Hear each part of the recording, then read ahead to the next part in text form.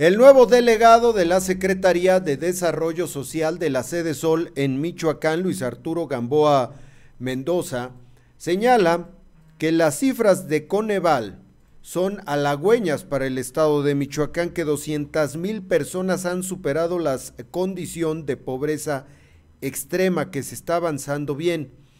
Dice también que dos millones de michoacanos todavía se encuentran en alguno de los parámetros con los que se mide la pobreza y 400 mil en pobreza extrema. Señala que la pobreza no se concentra en algunos municipios, en todos los municipios hay zonas de atención prioritaria, pues eh, son números muy duros los que maneja el nuevo delegado de Sede Sol. Escuche.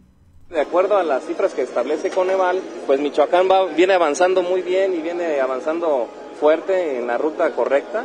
Eh, hoy en día eh, hay 200 mil personas que han superado la condición de, situación de pobreza extrema y además este, todos los indicadores de pobreza se encuentran en sus mínimos históricos. Entonces creo yo que vamos avanzando bien.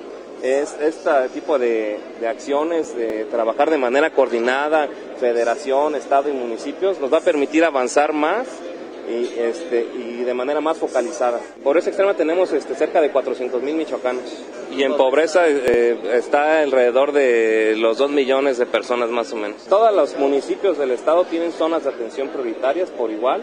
Todos tienen, no, la pobreza no se concentra en un solo lugar.